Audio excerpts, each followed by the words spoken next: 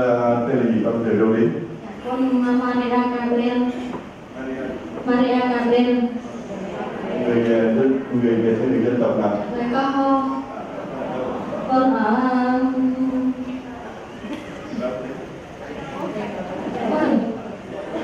Lâm Đồng lâm đồng ở lâm đồng Ờ, cầm nghe ờ, dân tộc ho ở lâm đồng đến có bao nhiêu tuổi có làm gì?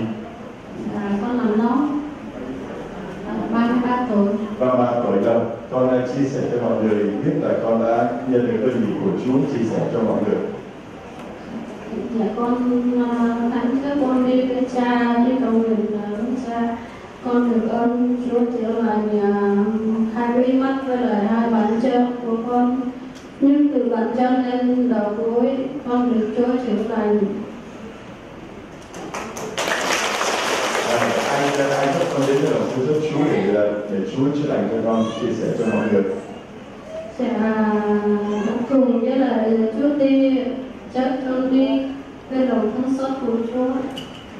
Về cái cơn đau của con đến đau như thế nào chia sẻ với mọi người về Chúa chữa lành dạ con đau cấp là dạ, đau mát tức dạ, là con bị suy thận mạng giai đoạn cuối, con chạy thận ba 3 năm rồi cha Dạ. Và tạ ơn Chúa vì ờ, Chúa đã chữa lành cho một người con gái của Chúa, một người dân tộc à, bị đau khớp toàn thân, rồi đau mắt, rồi suy thận mãn tính được cuối. Hôm nay người con của Chúa lên đây để làm chứng cho mọi người là Chúa đã cứu chữa người con của Chúa, lòng thương xót của Chúa cứu chữa con người. và là công nhận món quà của lòng thương xót Chúa. Rồi con đi ra về, con tiếp tục con đi loan truyền cho mọi người về lòng thương xót của Chúa dành cho con nhé. Rồi, mời con.